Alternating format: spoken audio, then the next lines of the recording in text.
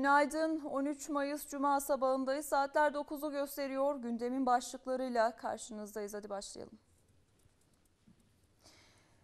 Evet, e, Türkiye yine patlama patlama sesleriyle yankılandı gece saatlerinde. Çukurca'da bir e, patlama yaşandı. Terör örgütü PKK'ya karşı süren operasyonlarda çıkan çatışmada 6 askerimiz şehit oldu. Yine Hakkari'de Kobra helikopterinin teknik bir arızadan dolayı düşmesi sonucu da 2 askerimizin acı haberi geldi.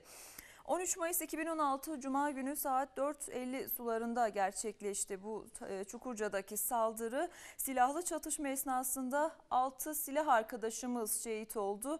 8 kahraman silah arkadaşımızsa yaralandı denildi Türk Silahlı Kuvvetleri'nden yapılan açıklamada.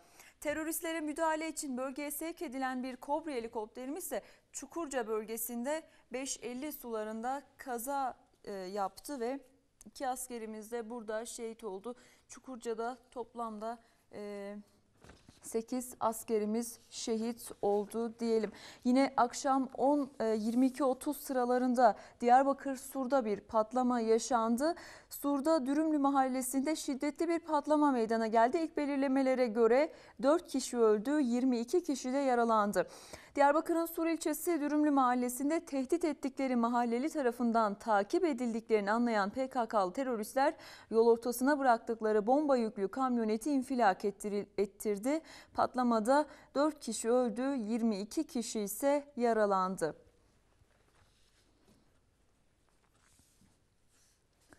Evet, Diyarbakır, Sur ve Hakkari Çukurca'daki Patlamaların ardından dün İstanbul'da da akşam saatlerinde Sancaktepe'de bir patlama meydana geldi. Askeri servis aracının geçişi sırasındaki patlamada 5'i asker, 3'ü sivil olmak üzere 8 kişi yaralandı. Sancaktepe'deki patlamanın bomba yüklü aracın uzaktan kumandayla patlatılması sonucu meydana geldiği belirtiliyor. Sancaktepe'de edildi. Askeri kışlaya yakın bir yerde e, askeri aracın e, askeri personel taşıyan aracın geçişi sırasında bomba patlatıldı. E, emniyet güçleri gördüğünüz gibi iki şeritli bir güvenlik önlemi almış durumda. İkinci bir patlamaya karşı bu şekilde önlemler alınmış. E, bu alana hemen gördüğünüz gibi ambulanslar, e, güvenlik güçleri ve e, polis ekipleri e, yönlendirildi. İlk belirlemelere göre birisi sivil 7 kişi, 6 e, e, birisi sivil 6 asker toplamda 7 kişi hafif yaralı olduğu ifade edildi. E, olayla ilgili bilgiler gelmeye devam ettikçe biz de sizlere aktarmaya devam edeceğiz. Evet Sancaktepe'de Kara Havacılık Alay Komutanlığı kışlasının 300 metre yakınında Osman Gazi Caddesi'nde park halinde bulunan araçta saat 16.30 sıralarında şiddetli bir patlama yaşandı. Askeri servis aracının geçişi sırasında gerçekleşen patlamanın etkisiyle cadde savaş alanına döndü. Şu anda da ekranlarınıza yansıyor. İstanbul Valisi Vasip Şahin ise patlamada 5 asker 3'ü sivil olmak üzere 8 kişinin yaralandığını söyledi. Patlamanın ardından ardından olay yerine giden çok sayıda polis ekibi çevrede geniş güvenlik önlemi aldı. İkinci bir bomba ihtimaline karşı da güvenlik önlemleri alındı elbette. Çevrede arama yapıldı. Askeri kaynakların verdiği bilgiye göre saldırı bomba yüklü aracın askeri araç geçişi sırasında uzaktan kumandoyla e, kumandayla infilak ettirilmesi sonucu gerçekleştirildiği bilgisi var.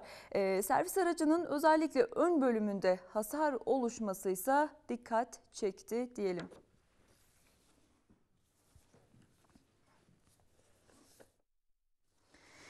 Hakkari, Çukurca, Diyarbakır, Sur, İstanbul, Sancaktepe 3 ilimizde de patlamalar meydana geldi. Şimdi Genelkurmay Başkanlığı'nın açıklaması var. Genelkurmay Başkanlığı dünkü operasyonlarda Mardin'in Nusaybin ilçesinde 6, Şırnak'ta 5 hainin daha öldürüldüğünü açıkladı. İki kentte etkisiz hale getirilen hain sayısı ise 706 oldu. Nusaybin'le Şırnak merkezde devam eden operasyonlarda 11 hain daha öldürüldü. Sokağa çıkma yasağının sürdüğü Nusaybin ve Şırnak'ta terör örgütüne yönelik operasyonlar aralıksız sürüyor. Genelkurmay Başkanlığı Nusaybin'de 6, Şırnak'ta 5 hainin daha öldürüldüğünü açıkladı. Açıklamada ayrıca Nusaybin'de etkisiz hale getirilen hain sayısının 366'ya, Şırnak'ta ise 340'a ulaştığını bildirdi. Terörle başladık, terörle de devam edelim. Türk Silahlı Kuvvetleri sınırda DAEŞ'e karşı operasyonlarını sürdürüyor. Hem karadan hem de havadan yapılan operasyonlarda 28 DAEŞ'li öldürüldü. Terör örgütü DAEŞ hedeflerine yönelik atışlar ve hava harekatlarında toplam 28 terörist öldürüldü. Dün akşam keşif ve gözetleme araçlarıyla alınan istihbarata göre atışa hazırlık içinde olduğu değerlendirilen DAEŞ terör örgütü hedeflerine top ve çok namlulu roket atar atışları yapıldı.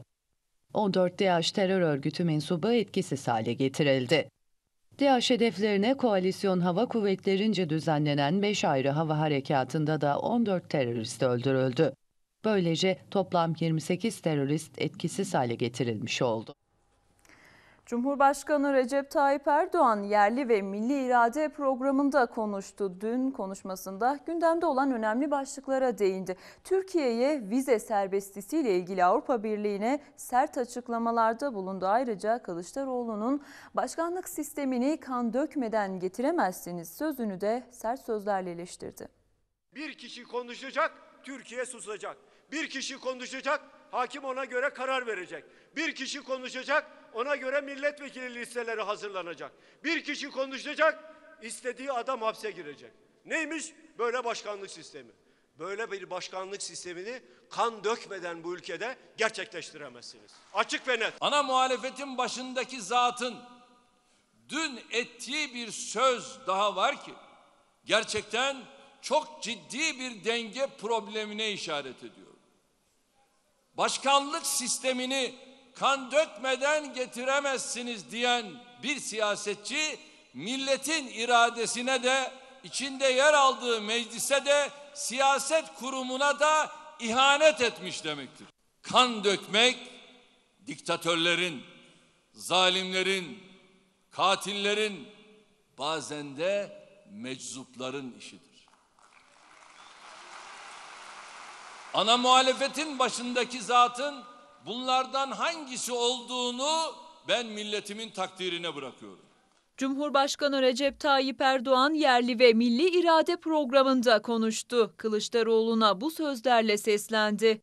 Tamamen meclisin kararı ve sonrasında milletin onayı meselesi olan bir konuyu getirip kanlı bir cümlenin içine yerleştiren kafa açık söylüyorum bu topraklara ait olamaz. Cumhurbaşkanı Avrupa Birliği'nin Türkiye'nin terörle mücadele yasasını değiştirmesi konusundaki ısrarına değindi. Sert sözler söyledi.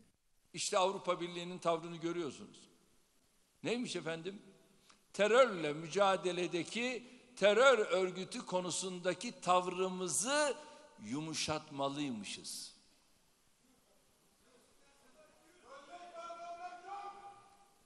Ya bana bak siz ne zamandan beri Türkiye'yi idare etmeye başladınız ya? Kim size bu yetkiyi verdi ya? Yarın benzer örgütlerin kendilerine yönelecek eylemlerine de razı demektir. Bunları kendi koyunlarında bezliyorlar. Bunlara avroları veriyorlar. Ve avroları vermek suretiyle Türkiye'yi gidin bölün diyorlar. Silahlarını da veriyorlar. Ya siz bizim bunları bilmediğimizi mi zannediyorsunuz?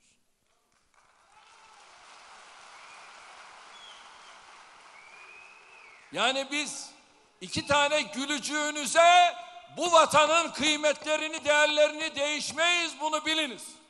Davutoğlu'nun istifasını sunmasının ardından tartışılan konulardan biri haline gelen başkanlık sistemi de Erdoğan'ın gündemindeydi. Başkanlık sistemi er geç gelecektir dedi. Ya Gazi Mustafa Kemal Atatürk egemenlik kayıtsız şartsız milletindir demedi mi?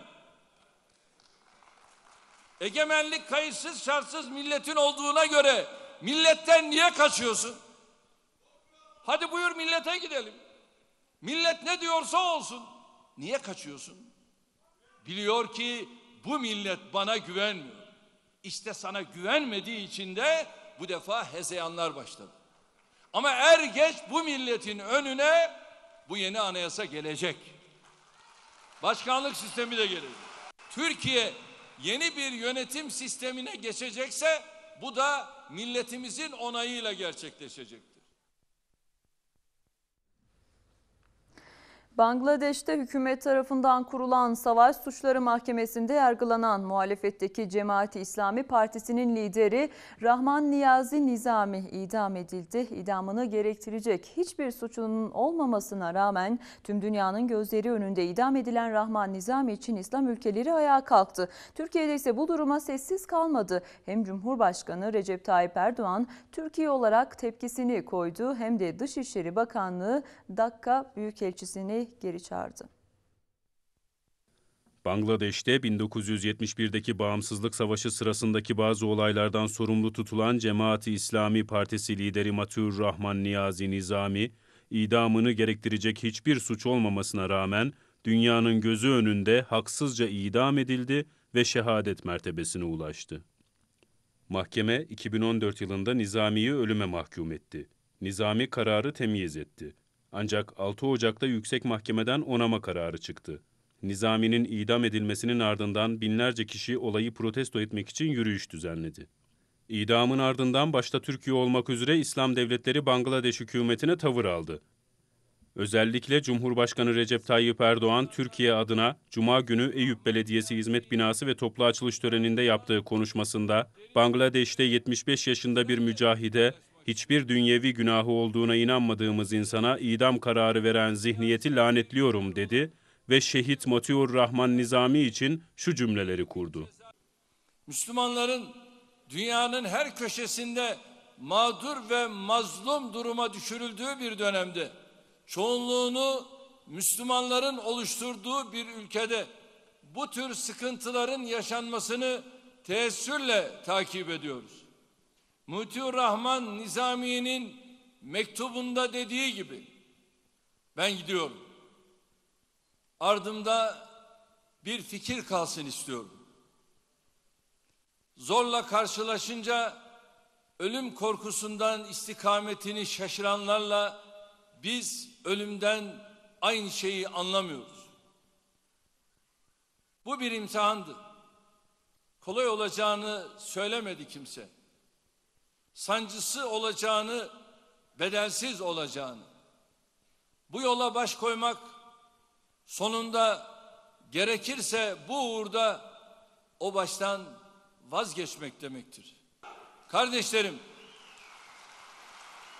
bizim için karar aldıklarını zanneden ahmaklar var. Bu karar ancak göklerde alınmış olabilir. Siz kimsiniz ki?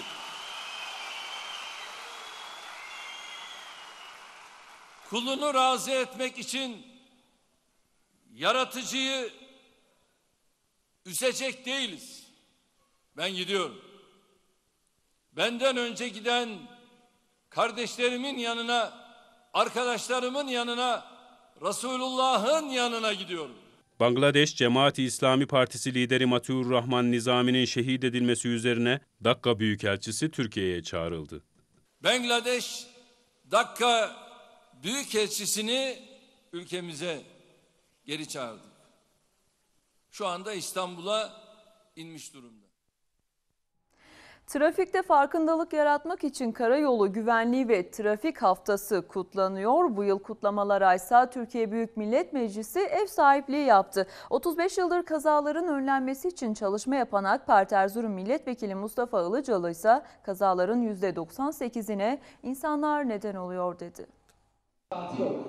Dolayısıyla genç arkadaşlarımız için Karayolu Güvenliği ve Trafik Haftası etkinliğine bu yıl Türkiye Büyük Millet Meclisi ev sahipliği yaptı. Etkinlik kapsamında farkındalık oluşturmak isteyen bir grup ilkokul öğrencisi ise polis üniforması giydi, milletvekilleri ve Türkiye Büyük Millet Meclisi çalışanlarına meclise girişleri sırasında çiçek dağıttı. Teşekkür ediyoruz. Çok sağ olun. Çocuk polisler emniyet kemeri takanlara teşekkür etti. Takmayanları ise uyardı. Üç yakınını trafik kazasında kaybeden AK Parti Erzurum Milletvekili Mustafa Ilıcalı ise 35 yıldır kazaların önlenmesine yönelik akademik çalışmalar yapıyor. yine sıkmasın diye buraya alırız ama ayarlanması lazım. Eğer doğru ayarlayamazsak mesela sıkıyor diye buraya da alanlar Trafik kazalarının önlenmesi için hava yolunda kullanılan üst düzey teknolojilerin karayolunda da kullanılması gerektiğini belirten Ilıcalı, bunun siyaseti yok. Trafik kusur oranlarını azaltmamız gerekiyor. %98 hatayı insan yapıyor dedi. Türkiye Büyük Millet Meclisi Başkan Vekili Ahmet Aydın, Türkiye Büyük Millet Meclisi bahçesinde kurulan küçük sahada alkol kullanmış etkisi yapan gözlüğü takarak sabit duran topa vurmaya çalıştı. Gördünüz. Yanınızdayım. Hemen gideceğiz. Buyurun topu gördüğünüz yerde vurmanızı istiyorum.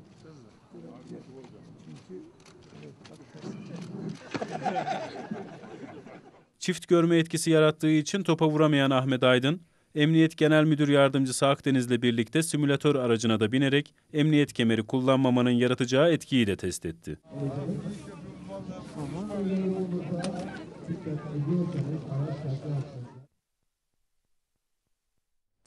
Saatler 9.18 haber başlıklarının bir kısmı bu şekildeydi. Şimdi sırada gazete manşetleri var.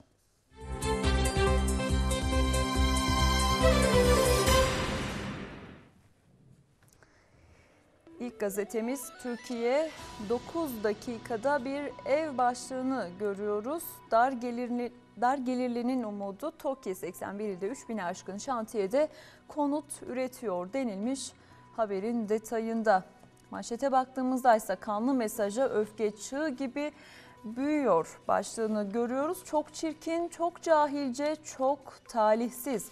CHP liderinin tehdidine hükümetin yanı sıra muhalefet de tepkili Kılıçdaroğlu'nun böyle başkanlık sistemini kan dökmeden gerçekleştiremezsiniz. Sözü infiale yol açtı. Sanayi Bakanı Işık, kandan bahsetmek çok çirkin, çok cahilce dedi. Çalışma Bakanı Soylu, psikolojik tedaviye muhtaç halin tezahürü yorumunu yaptı. MHP bu sözleri kabul etmek mümkün değil ifadesini kullandı. Büyük Birlik Partisi ise milli irade ne isterse o olur dedi. Kılıçdaroğlu'nun tartışma yaratan o ifadelerine hem iktidardan hem de muhalefet kanadından tepki geliyor. Bugün gazetelerin ilk sayfalarında özellikle yine bu açıklamaları görmek mümkün. Avrupa'ya kendi rotamızı çizeriz mesajı yol ayrımı denilmiş manşette paylaşılan bir diğer başlıkta. Erdoğan terörü bahane edip vize sözünü unutan Avrupa'ya sert çıktı. Cumhurbaşkanı Erdoğan eğer Avrupa Birliği Türkiye Cumhuriyeti Devleti yerine terör örgütünü muhatap alacak kadar küçülmeye razıysa bizim açımızdan hiçbir sorun yok. Önümüzdeki dönemde ya bu yolu nihayete ulaştıracağız ya da kendimize yeni bir yol tespit edeceğiz dedi.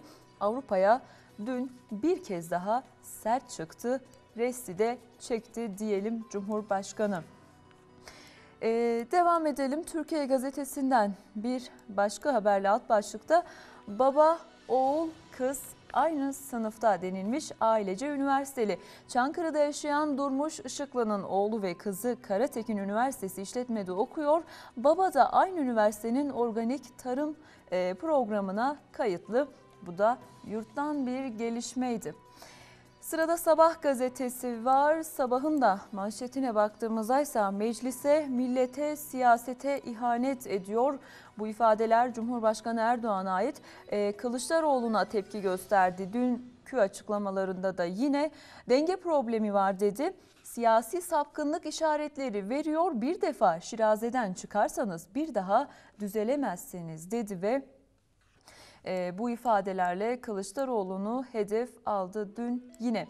E, sol sütundan başlıklar var onları aktaralım. Kültür gezisinde kaza denilmiş 5 ölü 40 yaralı İstanbul'dan Çanakkale Gelibolu Yarımadası'ndaki şehitliği ziyarete giden öğrenci ve velileri taşıyan tur otobüsü Kavakköy mevkisinde şarampole yuvarlandı. Kazada 5 kişi öldü 40 kişi de yaralandı.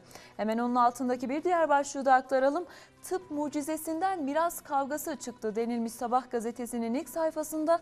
Hindistan'da 72 yaşında doğum yaparak dünyanın dikkatini çeken e, bir çift 3 milyonluk miras kavgası nedeniyle çocuk yaptığı iddia edildi. E, ailenin çocukları olmadığı için yaşlı çifte pay vermek istenmediği öğrenildi ve e, bu yüzden de 72 yaşında doğum yaparak mirasa ortak olmayı amaçladı deniliyor haberin detayında. Ee, sırada Yeni Şafak var. Gazetelerin birinci sayfalarıyla devam edelim ve Yeni Şafak'a aktaralım. Yeni bir yol çizeriz denilmiş. Cumhurbaşkanı Erdoğan'ın ifadeleri Avrupa'ya dün yine sert çıktı. Cumhurbaşkanı Erdoğan ve e, vize ve terör konusundaki ikircikli tutum takınan AB'yi eleştirdi dedik. Türkiye'nin yol ayrımında olduğunu söyledi. Önümüzdeki dönemde ya Avrupa Birliği ile ilişkilerimizi geliştirecek ya da kendimize yeni bir yol tespit edeceğiz dedi Cumhurbaşkanı.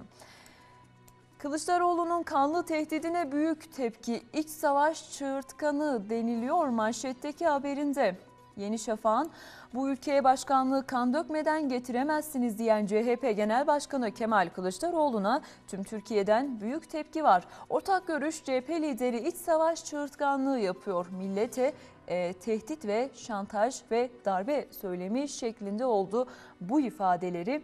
E, kan dökmeden başkanlığı getiremezsiniz ifadeleri Millete şantaj, darbe özlemi CHP lideri iç, sava- iç savaş çığırtkanlığı yapıyor şeklinde yorumlandı. Devam edelim. Ee, Kılıçdaroğlu'na ayrıca bu ifadeleri yüzünden de soruşturma açıldı. Ankara Cumhuriyet Başsavcılığı iç savaş çağrısı anlamına gelen sözler nedeniyle Kemal Kılıçdaroğlu hakkında soruşturma başlattı. Basında çıkan haberleri ihbar kabul eden başsavcılık soruşturmayı Türk Ceza Kanunu'nun suç işlemeye tahrik suçunu kapsayan 214. maddesi kapsamında yürütecek. Ee, başkanlık sistemi açıklamaları ile ilgili Kılıçdaroğlu hakkında Ankara Cumhuriyet Başsavcılığı da e, soruşturma başlattı diyelim. Devam edelim. E, Milliyet gazetesiyle Milliyet'in de ilk sayfasına baktığımızda e, spordan gelişmeleri görüyoruz. Sürmanşetteki haberlerinde Messi'den daha mutluyum e, başlığı atılmış sürmanşete onu aktaralım. Beşiktaş'ın golcüsü Gomez kariyerimi Mesai İbra- Ronaldo ve Neymar'la değişmek istemem. İnanılmaz paralar kazanıyorlar ve milyonlarca insan onların rolünü almak istiyor. E, Paris'te sokağa çıkamadığını biliyorum demiş bir futbolcunun ve Beşiktaş'ta oynayan Mario olmayı tercih ederim. İstediğim hayatı yaşıyorum demiş. Messi'nin açıklamaları ilk sayfaya taşınmış Milliyet gazetesinde. Yine e, manşetteki habere baktığımızda kan sözüne sert yanıt denilmiş. E, Kılıçdaroğlu'nun başkanlık sistemi hakkındaki ifadeleri bugün e, ilk sayfalara taşınmış ve dün Erdoğan da konuşmasında tepki gösterdi. Erdoğan'dan Kılıçdaroğlu'na baş, başkanlık sistemini kan dökmeden getiremezsiniz diyen siyasetçi millet iradesini içinde yaşadığı yer aldığı meclise ve siyasete ihanet etmiş demektir ifadelerini kullandı ve e, Cumhurbaşkanı ayrıca burada yeni anayasa ve başkanlık sistemine ilişkin de er ya da geç e, yeni anayasa ve başkanlık sistemi bu milletin önüne gelecektir dedi. Bakalım e, bu açıklamaların ardından e, neler olacak?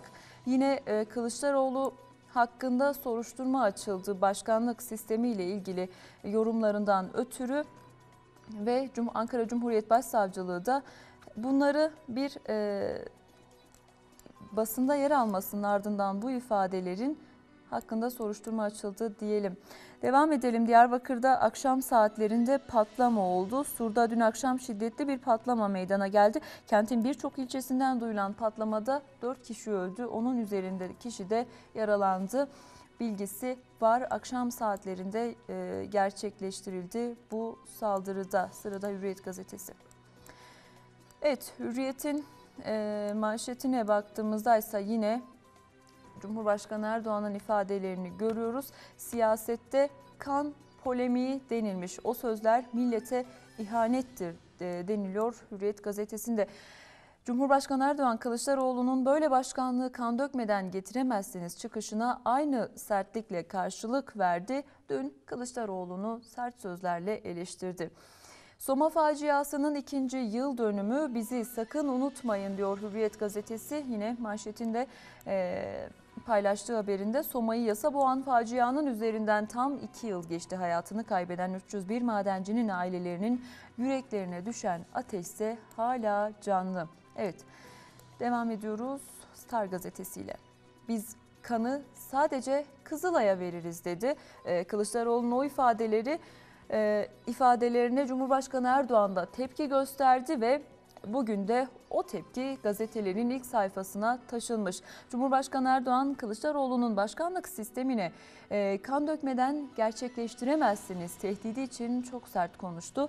Kan ticaretine soyunanlar boşuna heveslenmesinler. Kızılay dışında bir, yer, bir yere kan vermeyiz dedi Cumhurbaşkanı da e, Kılıçdaroğlu'na dün bu ifadelerle seslendi.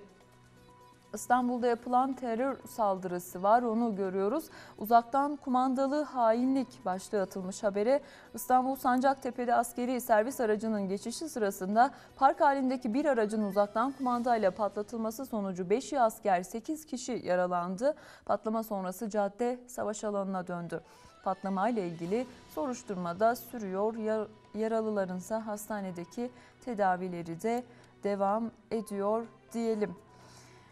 Sırada akşam gazetesi var. Polis muhbirlerini elden teslim etti. Ekrem Dumanlı'nın 7 Haziran seçimleri öncesi Diyarbakır'da gerçekleştirilen sır görüşmede emniyette çalışan istihbarat elemanlarının listesini Gülten e, Kışan'a verdiği tespit edildi deniliyor haberde.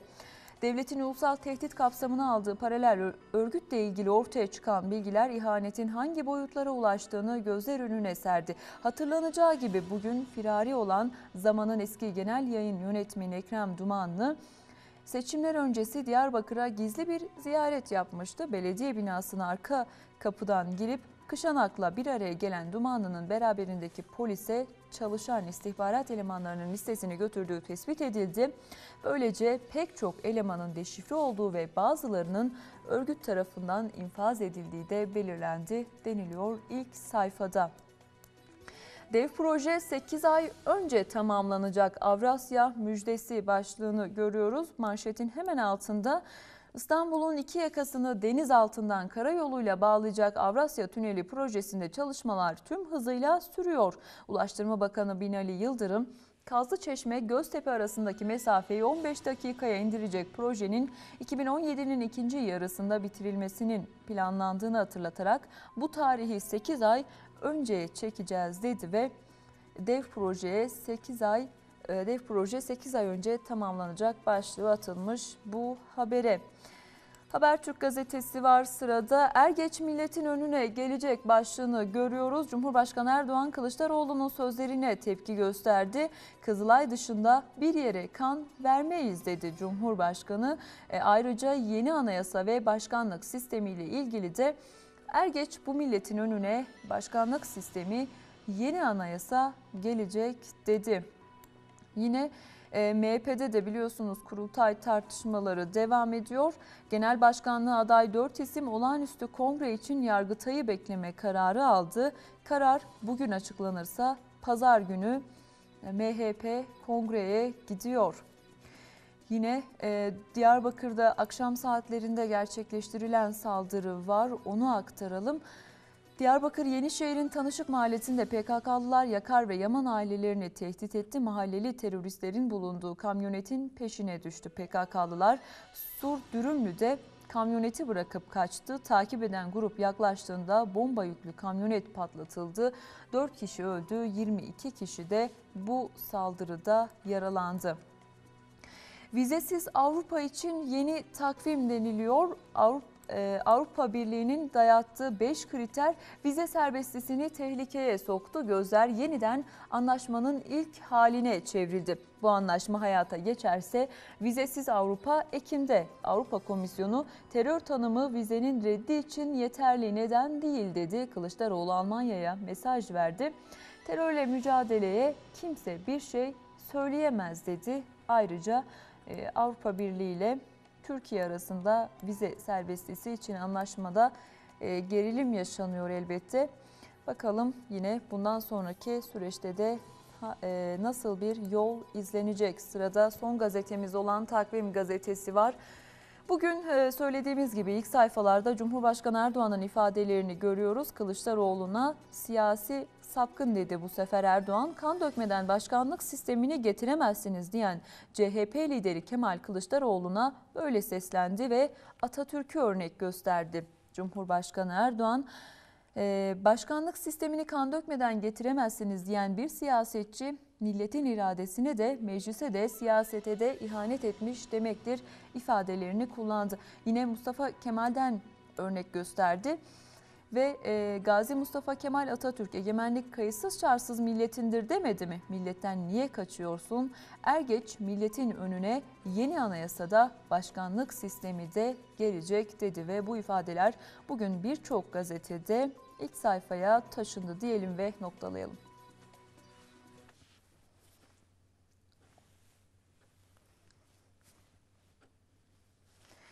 Saatler 9.32 gazetelerin ilk sayfaları bu şekildeydi. Erzurum'da yaşananlarla devam edelim açılışın. Erzurum Büyükşehir Belediye Başkanı'nın yaptığı Erzurum'da beşincisi düzenlenen istihdam ve kariyer fuarı kapılarını işsizlik için araladı. Fuarda bulunan girişimcilerin iş gücüne halkın talebi ise yoğun ilgi gördü. İstihdam ve kariyer fuarına bu yılda ilgi yoğun oldu.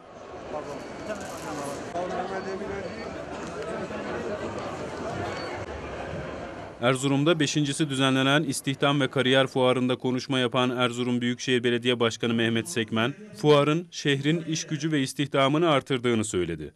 Bu organizeyi gerçekleştiren, emeği geçen herkese teşekkürlerimi sunuyorum. Çok önemli bir burada açılış yapıyoruz. Bir toplantı yapılıyor. Ben hayırlara vesile olmasını diliyorum.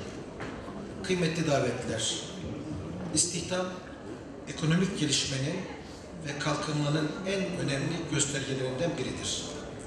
Kişi başına düşen milli gelir giderek artan Türkiye'de işsizlik üzerinde titizlikle durulan bir konudur.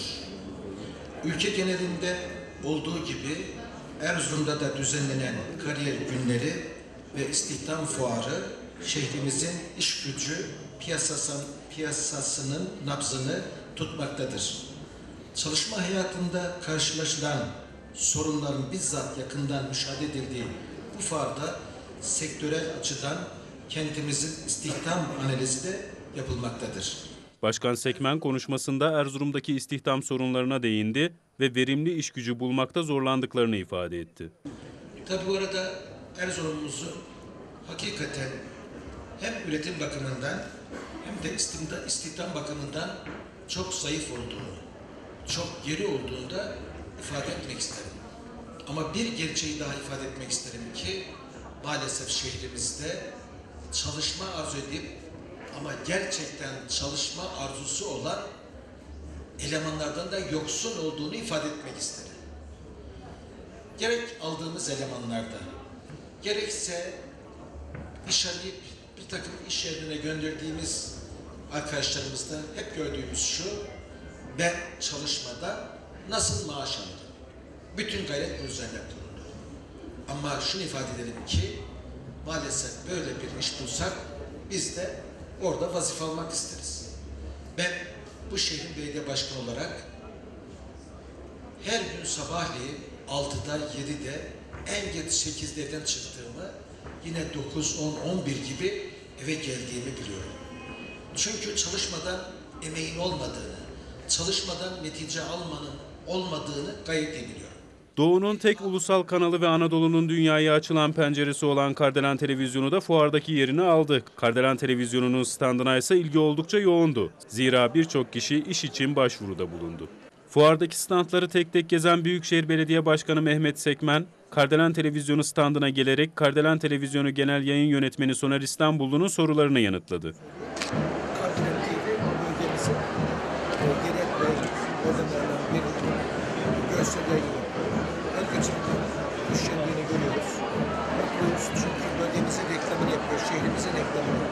Erzurum Büyükşehir Belediye Başkanı Mehmet Sekmen'le birlikte Kardelen Televizyonu standının bir konuğu daha vardı. Erzurum Vali Yardımcısı Hatice Bayar Özdemir. Size Kardinal TV fuarı sebebiyle bu fuara katılan 97 firmadan biri olması sebebiyle şahsım adına valimiz adına teşekkür ediyorum. İnşallah fuarımız Erzurum için ve özelde Erzurum için toplamda genelde de Türkiye için hayırlı olur. Erzurum Büyükşehir Belediyesi şehir merkezinde yaptığı yatırımlarla birlikte ilçelerde de hizmetlerine ivme kazandırdı. İlçelere yapılan prestij caddelerinin ardından dış cephe giydirme çalışmalarına devam ediliyor. Erzurum Büyükşehir Belediye Başkanı Mehmet Sekmen dün Narman ve Tortum'a giderek yapılan çalışmaları yerinde inceledi. Erzurum Büyükşehir Belediyesi şehir merkeziyle birlikte ilçelerde de yatırım ve çalışmalarına devam ediyor.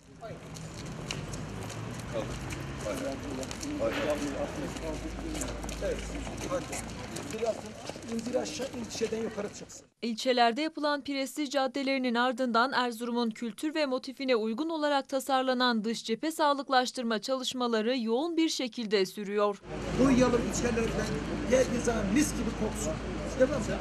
Allah razı olsun. Kendi hemen ağaçları getiriyor. Ağaç koyacaksak yolun ortasında kenarlarına falan. Eski bina ve dükkanları ücretsiz olarak yenileme çalışması yapan ve modern bir görünüme kavuşturan Erzurum Büyükşehir Belediyesi yaptığı çalışmalarla ilçelere farklı bir görünüm kazandırıyor. Enfes bir yol olacak. Girince olur. Tamam? Sen sadece kopya yapacaksın. Şu kenarına, öbür kenarına. Biz ortasına 30-40 tane çam ağacı dikeceğiz. Şöyle içeride kalıyor. Nasıl mı? Büyükşehir Belediye Başkanı Mehmet Sekmen, Narman ve Tortum'a giderek belediye hizmetlerini yerinde inceledi. Ayrıca Başkan Sekmen yapılacak yeni çalışmalar için planlama yaptı. Evet, yolun kenarı üst tarafına şey, burayı kıracağız. Tamam mı? Şurayı konuşalım ve şuradan yukarı başlayalım. Binalım. Buna göre şu arayı da çıkar tamam mı? Ülkelerindeki iç savaştan kaçarak ülkemize sığınan bir kısmı da Suriye'deki iç savaşa direnen Bayır Bucak Türkmenleri için Erzurum Büyükşehir Belediyesi ve Diyanet İşleri Başkanlığı'nca yürütülen Şimdi Yardım Zamanı adlı yardım kampanyası kapsamında 9 tırdan oluşan yardımlar Bayır Bucak'a gönderildi. Bayır Bucak Türkmenleri için bu güzel günde, bu güzel zaman diliminde, bu güzel yardımlar oluşmasıyla beraber inşallah yolculuğu yapacağız.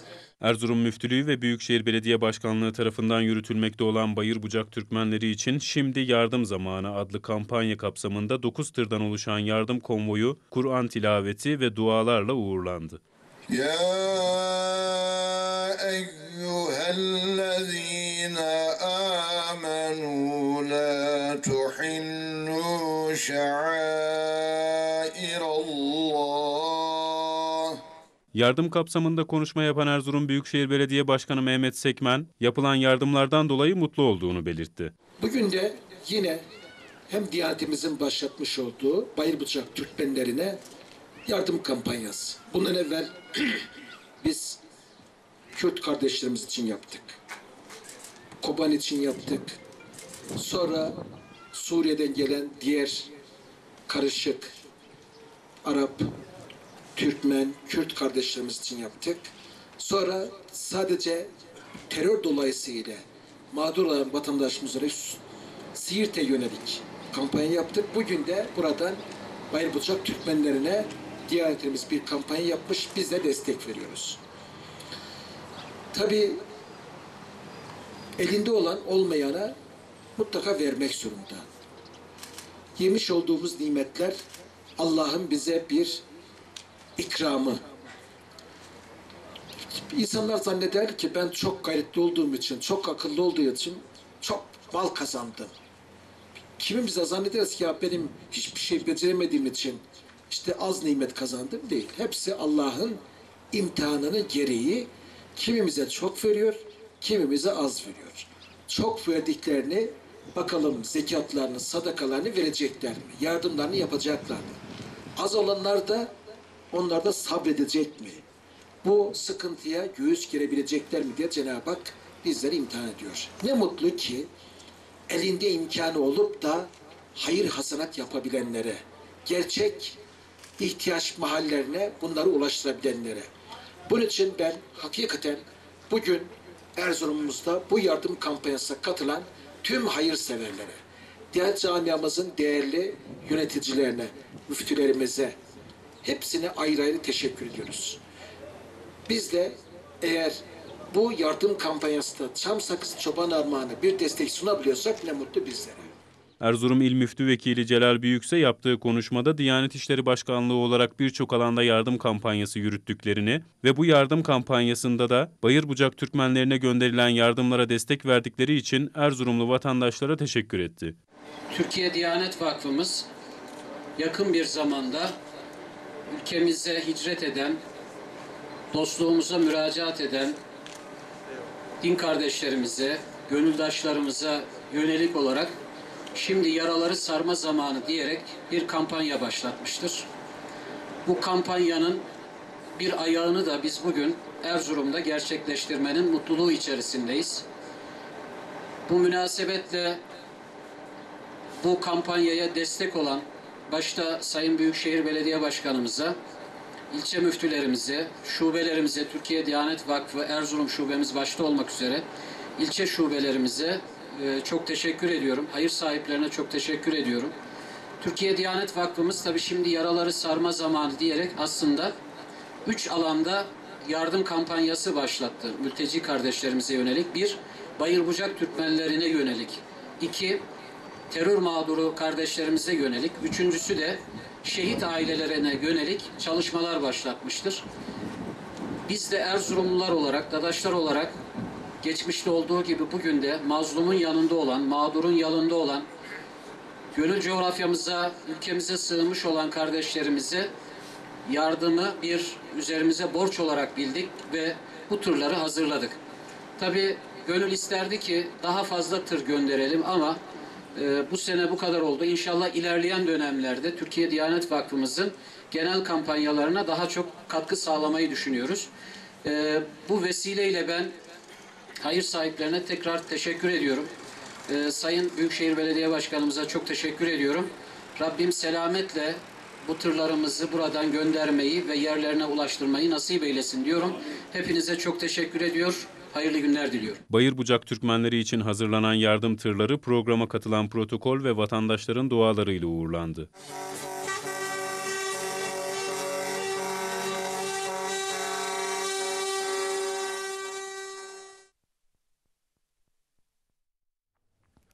Atatürk Üniversitesi tarafından düzenlenen Değerler Kısa Film Yarışması'nda sona gelindi. Amatör filmler ödüllerini aldı.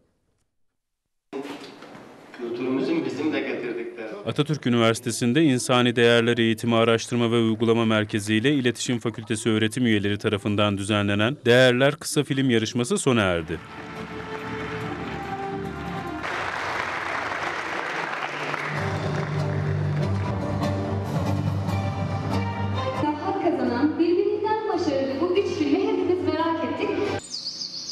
Atatürk Üniversitesi İnsani Değerler Eğitimi Merkezi Müdürü Profesör Doktor Cengiz Gündoğdu değerler eğitiminden bahsetti. Dünyada olduğu gibi ülkemizde de vatandaşlık eğitimi, karakter eğitimi, değer eğitimi gibi başlıklarla planlı ve programlı çalışmalar başlatılmış bulunmaktadır. Proje koordinatörü doçent doktor Aslı Yurdigül yarışmaya 200'den fazla filmin başvurduğunu belirtti. Yansıtan ve prensiplerimizi oluşturan değerlerin sinematografik bir anlatımla dile getirilmesine olanak tanımaktı. İki kriter bizim için önemliydi. Birincisi e, gelen filmlerin içerik açısından değerlerimize ilişkin olması. Bir diğeri de amatör bir ruhla çekilmiş olmasıydı. Finale kalan tüm genç yönetmen arkadaşlarımızı tebrik ediyorum. Değerlendirme sonucu Sefa Can Aydoğdu İyi Bayramlar isimli çalışmasıyla üçüncü, Doğan Can Aktaş En Küçük Sevgi isimli çalışmasıyla ikinci, Baran Vardarsa Vefa isimli çalışmasıyla birincilik ödülünün sahibi oldu.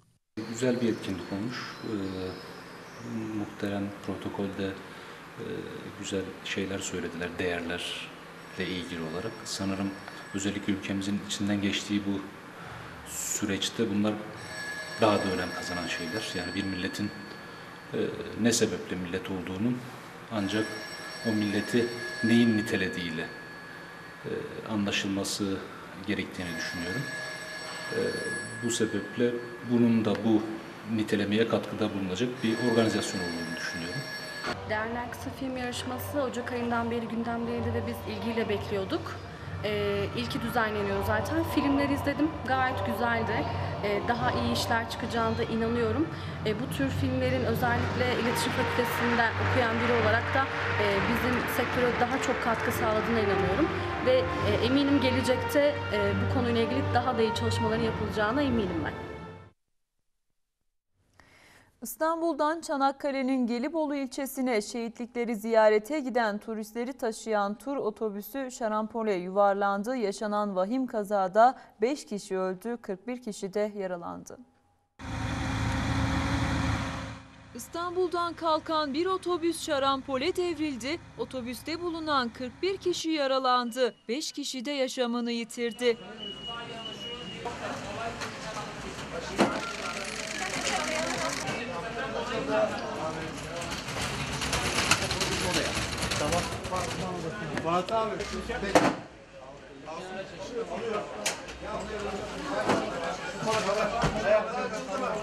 İstanbul'dan Gelibolu'daki şehitliklere giden ve 46 kişilik kafileyi taşıyan otobüs Gelibolu Kavakköy yakınlarında yoldan çıkarak şarampole yuvarlandı.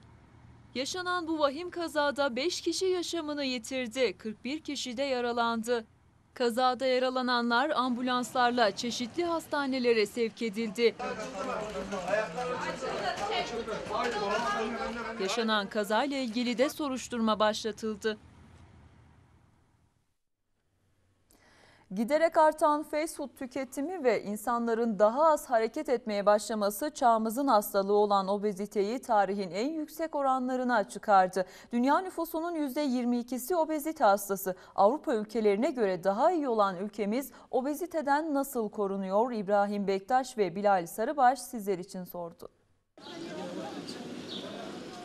Uzmanlar DNA'sı ile oynanmış ve kolesterolü yüksek gıdaların obezitenin en büyük destekçisi olduğunu söylüyor. Bu duruma hareketsiz yaşam da eklenince aşırı kilolar kaçınılmaz oluyor.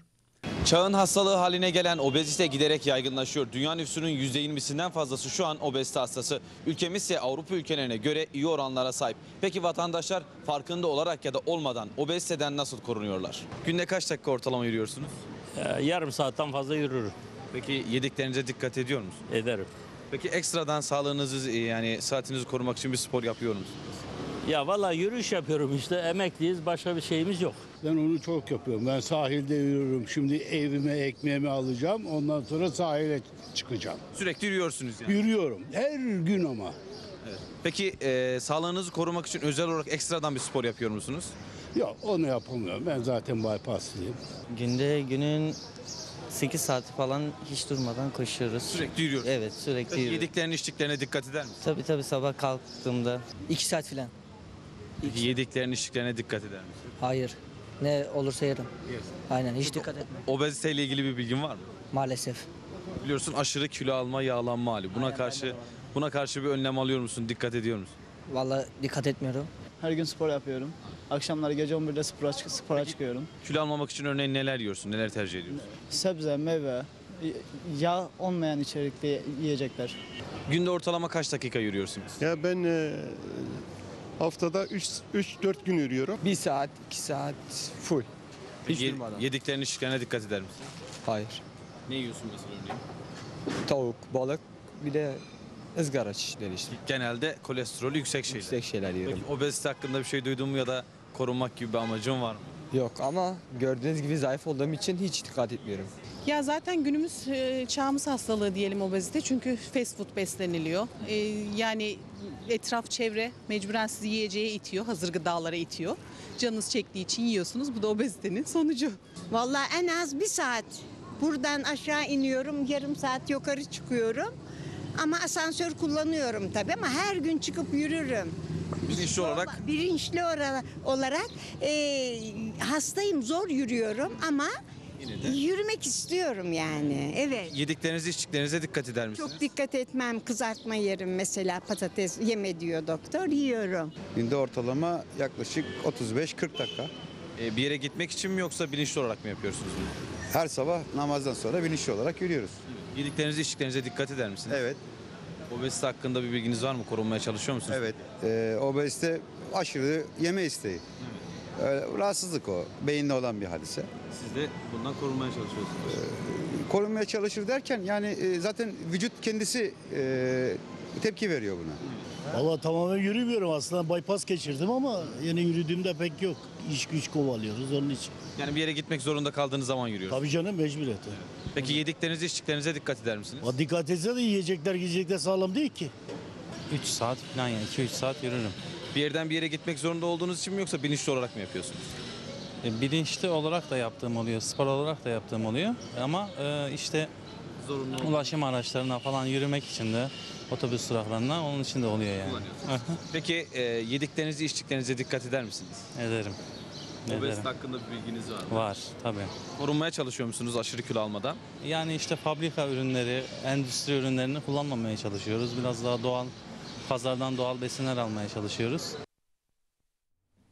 Keçinin inatçısını gördük de gülenini gördünüz mü? Haberimizde izleyelim.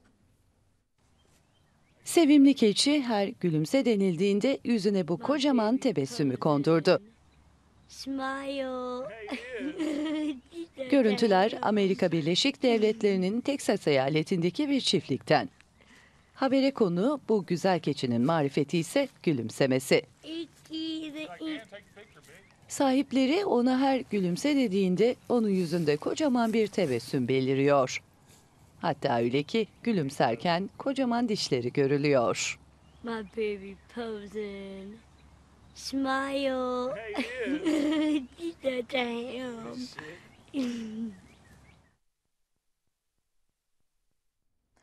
Cuma gününün son gelişmesiydi. Bu da burada noktalıyoruz. Pazartesi saatler 9'u gösterdiğinde elbette biz yine ekranlarınızda olacağız. Mutlu bir hafta sonu geçirmeniz dileğiyle. Hoşçakalın.